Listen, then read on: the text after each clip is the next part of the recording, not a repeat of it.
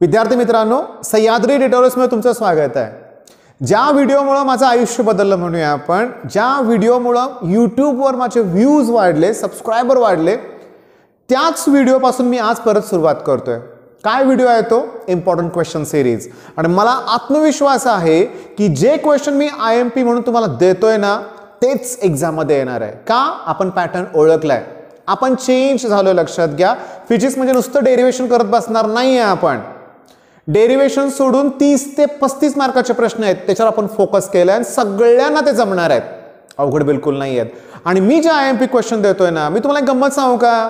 Ionic equilibria चे I M P questions मी गेल्या वर्षी दिले होते. डिस्क्रिप्शनमध्ये त्याची मी लिंक देतोय. चार वाजून सॉरी चार मिनिटं आणि पन्नास सेकंदांनी म्हणून चार वाजून चुकून बोललो बरं का मी. चार मिनिटं आणि पन्नास सेकंदांनी ना मी काय बोललो ते तुम्ही ऐका. त्या व्हिडिओत मी काय बोललो माहिती आहे का? P H plus P Y equals to fourteen हा क्वेश्चन येणारच असं मी बोललोय परीक्षेत आणि आलाच. मी असं म्हणत नाही बरं का मी हे बोललो म्हणजे येणारच म्हणून ठीक आहे. पण येण्याची शक्यता ज्याची असते ना ते मी बोलतोय लक्षात घ्या. म्हणजे या व्हिडिओमध्ये मी जे तुम्हाला प्रोव्हाइड करतोय ना तो आपला पार्ट वन आहे. टॉपिक वाईज मी जाणार नाही तुम्हाला. मी सांगतो ते प्रश्न दिवसभरात करायचे. ओके दहा व्हिडिओजमध्ये तुमच्याकडून मी दीडशे दोनशे क्वेश्चन तयार करून घेणार आहे.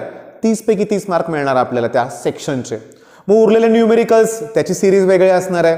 त्याच्यानंतर तुम्हाला सांगतो डेरिवेशन्स पण घेणार आहे मी. असंच आपण डेरिवेशन कॅन्सल करणार नाही आहे मग आता मुद्दा काय माहीत आहे का? मग तुमचं काम काय? मी दिलेले प्रश्न करायचे. पण अजून महत्त्वाचं तुमचं काम काय? काल जो मी व्हिडिओ अपलोड केला होता ना पॅटर्नचा तुमच्याकडून एवढा जबरदस्त प्रतिसाद मिळाला. दीडशे दोनशे कॉमेंट होते त्याच्यावरती. लाईक प्रचंड होते. तुमच्याकडून शेअर केला गेला व्हिडिओ तो. त्यामुळे यूट्यूबकडून पण तो प्रमोट केला गेला आहे एरवी हजार व्ह्यू कसे तरी होत आहेत या कंडिशनला त्याचे दोन अडीच दोन हजार सहाशे व्ह्यू झाले. मोठी अचिव्हमेंट आहे. केवळ तुमच्यामुळे ते शक्य झालंय. माझी इच्छा काय बघा? मी अगदी प्रामाणिकपणे ॲनालिसिस करून क्वेश्चन देतोय. तुम्ही तुमच्या जास्तीत जास्त मित्रांपर्यंत हा व्हिडिओ नक्की शेअर करा. मग वेळ न घालवता सुरुवात करूया. ओके आज मी तुम्हाला टोटल बारा क्वेश्चन देतोय फक्त. पहिला क्वेश्चन आहे त्यातला कुठला? डिफाईन मोमेंट ऑफ एनर्शिया आणि त्याचं युनिट आणि डायमेन्शन्स ठीक आहे? युनिट माहिती आहे तुम्हाला किलोग्रॅम मीटर स्क्वेअर युनिटवर डायमेन्शन काही बिलकुल अवघड नाही आहे डेफिनेशन सोपी आहे. ती algebraic sum of product of तुम्हाला माहिती आहे लक्षात घ्या. हा प्रश्न पहिल्यांदा करा. तो केला की नेक्स्ट क्वेश्चन कुठला करायचा माहिती आहे का? की तुम्हाला moment of energy of ring disc rod and sphere याचे फक्त बेसिक फॉर्म्युले जे आहेत ते करा. डेरिव्हेशन करत बसू नका. का माहिती आहे का? सेक्शन बी मध्ये दोन मार्काला एकदम सिंपल क्वेश्चन येईल. मास देतील रेडियस देतील आणि मोमेंट ऑफ एनर्शिया विचारतील. Ring disc about tangent in the plane perpendicular plane formula एकदा रिवाईज करा. येत नाहीत तुम्हाला? यूट्यूबची लिंक मी देतोय डिस्क्रिप्शनमध्ये मोमेंट ऑफ एनर्शियाचे सगळे फॉर्म्युले मी व्यवस्थित एक्सप्लेन केलेत रोटेशनल डायनामिक्सच्या व्हिडिओमध्ये तुम्ही ते बघा. ओके तिसरा क्वेश्चन आहे law of conservation of angular momentum L म्हणजे अँग्युलर मोमेंटम पास्कल्स लॉ आणि त्याच्या ॲप्लिकेशन्स करा. आता हा दुसरा टॉपिक आहे. ओके सरफेस टेन्शन डिफाईन करा त्याचं unit and per dimensions newton per metre unit आहे मग डायमेन्शन्स काही अवघड नाही आहे अँगल ऑफ कॉन्टॅक्ट त्याच्या कॅरेक्टरिस्टिक्स आणि कोणत्या फॅक्टरवर तो डिपेंड असतो कुठल्या फॅक्टरमुळे त्याच्या व्हॅल्यू चेंज होत आहेत. अँगल ऑफ कॉन्टॅक्ट एक दोन वेळा प्रश्न रिपीट झालाय आत्ताच्या पेपरमध्ये लक्षात घ्या. त्याच्यानंतर सातवा प्रश्न आहे कॅपलरिटी आणि तिचे ॲप्लिकेशन आलाय बोर्डमध्ये अँगल ऑफ कॉन्टॅक्ट आलाय बोर्डमध्ये मोमेंट ऑफ एनर्शिया आलेलंच आहे परीक्षेत. दोन टॉपिकमध्ये मिळून बारा ते पंधरा प्रश्न निघतील. तर ते बारा तर मी दिलेत तुम्हाला. एवढे तर करायच्यात आजच्या आज. ओके बर. स्ट्रीम लाईन फ्लो आणि टर्ब्युलंट फ्लो मधला डिफरन्स एक पुस्तकात दिलाय. तो तुम्हाला करायचा आहे. Critical velocity Reynolds number definition equations तुम्हाला करायचे आहेत. विलॉसिटी ग्रॅडियंटची डेफिनेशन आहे. स्टोक्स लॉ आणि बर्नॉलिस इक्वेशनचं स्टेटमेंट आहे आणि त्याचं ॲप्लिकेशन आहे. लक्षात घ्या. आता मी तुम्हाला सांगू का छोट्या छोट्या व्हिडिओत पटकन मी तुम्हाला हे व्हिड सांगतोय काय करायचं आहे तुम्हाला ते. येते काय सांगणार तुमच्या? आणि तुम्हाला हे करायचंच आहे.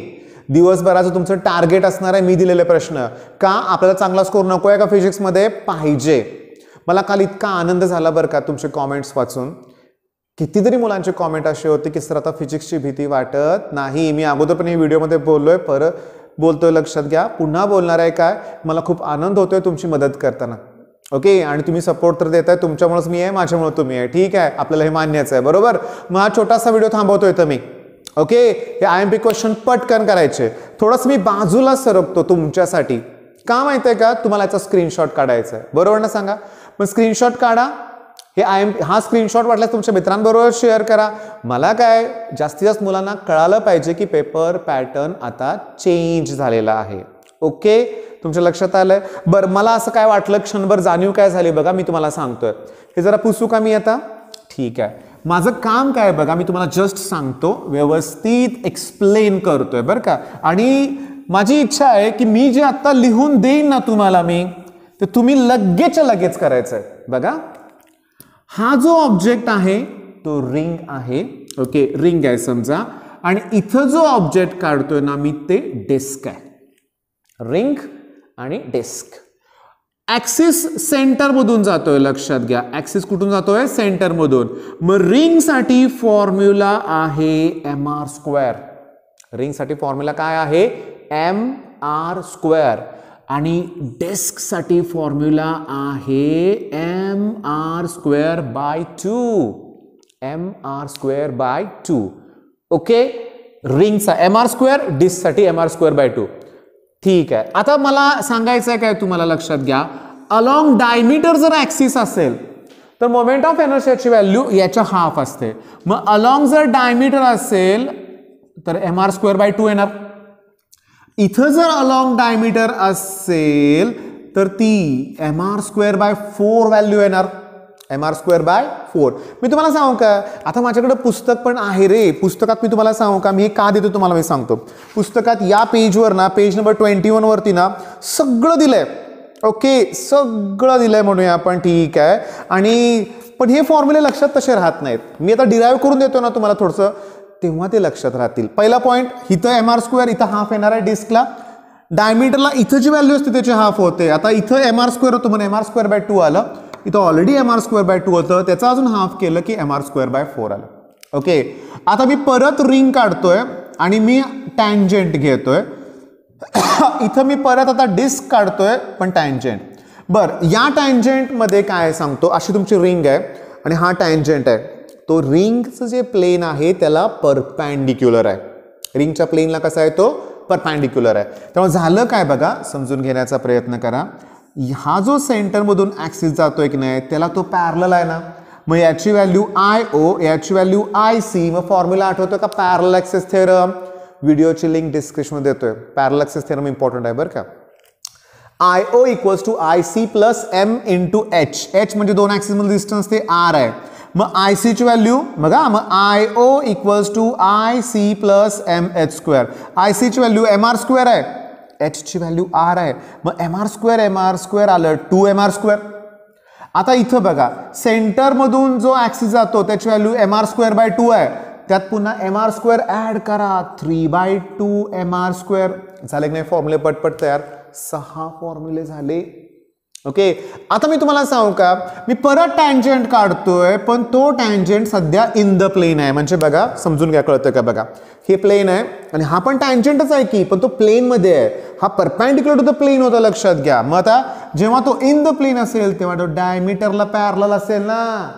मी तुम्हाला आयडिया सांगू का? पॅरलॅक्सिस थेरम वापरायचं म्हणजे काय माहिती आहे का? ज्या ॲक्सिसला पॅरल आहे त्याच्या मोमेंट ऑफ एनर्शियामध्ये फक्त एम आर स्क्वेअर ॲड करा ना. एम आर स्क्वेअर का दोन ॲक्सिसमधलं डिस्टन्स आरच आहे या केसमध्ये मग येईल की नाही three by two M R square पण तोच डिस्क असेल तर डायमीटरला already M R square by four आहे.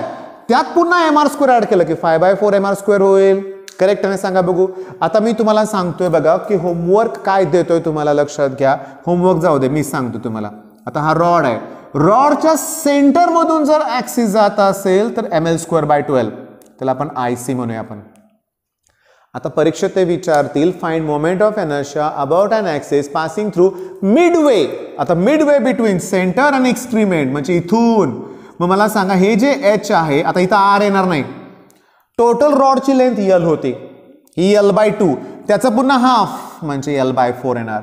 मग सांगतो परत मग ह्यात तुम्ही M L square by sixteen add करणार ना. कारण H value L by four आहे त्याचा square L square by sixteen cross multiplication करू नका. L C M forty eight आहे ना डिनॉमिनेटर सेम करून घ्या. याला चारनं मल्टिप्लाय करा. याला तीननं मल्टिप्लाय करा. फोर आणि three seven M L square by forty eight P Y Qs काढून बघा तुम्हाला ही एम सी क्यू दिसेल लक्षात घ्या. मग मी तुम्हाला आता सुरुवात तर करून दिले. Okay the moment of energy definition तुम्ही पटकन करणार आहे. हे फॉर्म्युले रिवाईज करणार आहे लक्षात घ्या. सिंपल क्वेश्चन परीक्षेत आलेले आहेत. मास दिले रेडियस दिलंय काढा मोमेंट ऑफ एनर्शिया पण जे व्ही एस ए असतो ना क्वेश्चन नंबर टू त्यात काय विचारतात माहिती आहे का तुम्हाला? Give the formula to find moment of inertia about an axis passing through centre formula फक्त लिहायचा आहे सेक मिन सेकंदात एक मार्क मिळणार आहे आपल्याला. बिलकुल घाबरत नाही आपण आता फिजिक्सला लक्षात घ्या. खूप छान तुमचा स्कोर होणार आहे. ऑल द बेस्ट धन्यवाद.